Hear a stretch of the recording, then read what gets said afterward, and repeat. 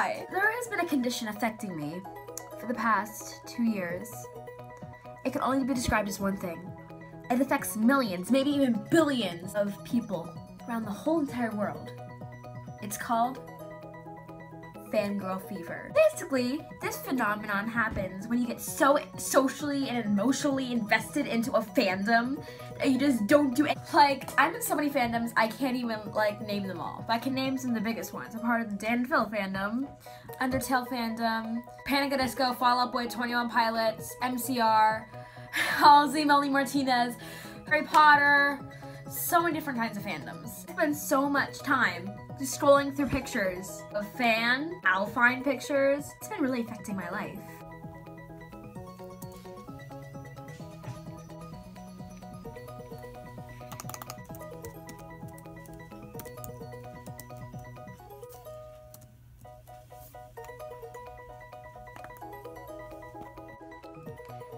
Hey, Lauren. Um, would you want to go out today? Oh, uh, you know, I would really like that, but um, I just have this thing that I can't really pass up. Yeah, for school. Um, I'll see you around. Okay. Um, I'll see you around then. Okay, bye. It's a G. Okay. Nacho Grande, cheesy gordita. I like my lunch like diarrhea. Fandoms will also destroy the little bridge of communication you have with any of your family, friends, teachers, any other people in the whole entire world except for the people online. Because that's all who really counts, right? Right? Right. Hey, Lauren, can come play with me. You know, I would, but I have very important homework that needs to be done by tomorrow, or I get an F. Okay.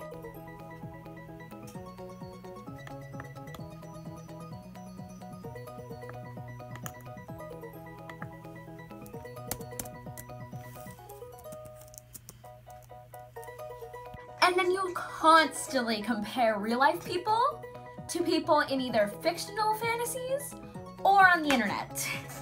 For example, Oh my god! You just got asked out by Melanie Molinas. You gotta say yes. She's like the hottest girl in school and the most popular and the prettiest. And you know, I would love to, but she's no Melanie Martinez. But there are some positives being in a fandom. First of all, you don't get judged. Unless you're a Dan Riffic shipper. If you're a Dan Riffic shipper, then leave. Just leave. You need to stop. It's time to stop. But there's always extremists in the group. Always.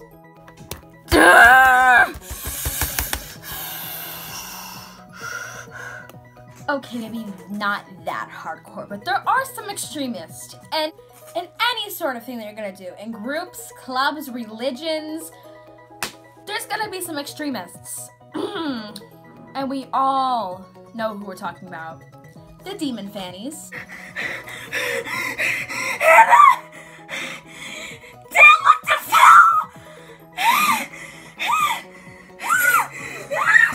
The Ryden shippers. Hey YouTube, so today I'll be analyzing Ryden.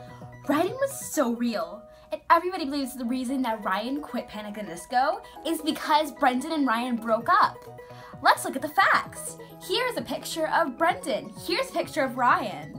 But Brendon has seven letters, and Ryan has four letters.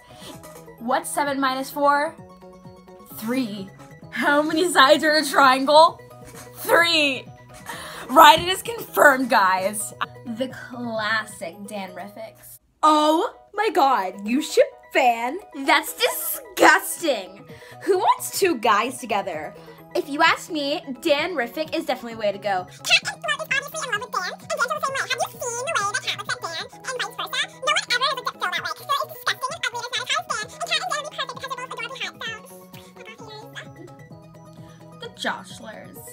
Okay, so I know that my last post got a lot of hate because everybody was commenting that Tyler's already married, but Jenna could just be a cover up for Tyler. They didn't actually get married. Like, who does that?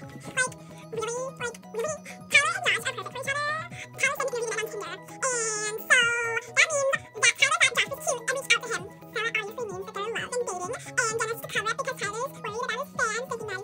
And whatever you do, do never insult Dan or Phil. So you say one bad thing, Tumblr, YouTube comment section will shoot you down. Why are Dan and Phil even popular in the first place? Like, I like Dan. He's pretty hot. And also, he's way funnier than Phil. Like, why does he even Phil do YouTube anyways? Like, he shouldn't have been doing YouTube. Everyone hates him. He has only like 3 million subscribers and Dan has 6 million. So maybe he should just quit because he's an unattractive. Excuse me? What did she say?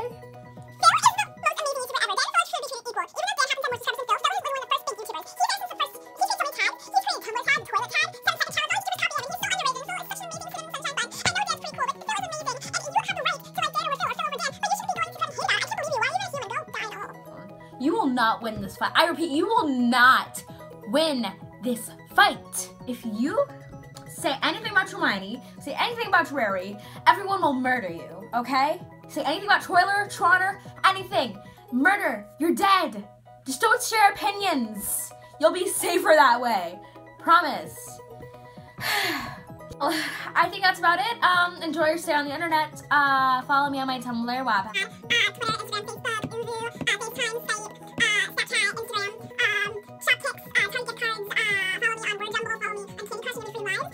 And I'll see you guys later. Oh my god. Love you. Bye.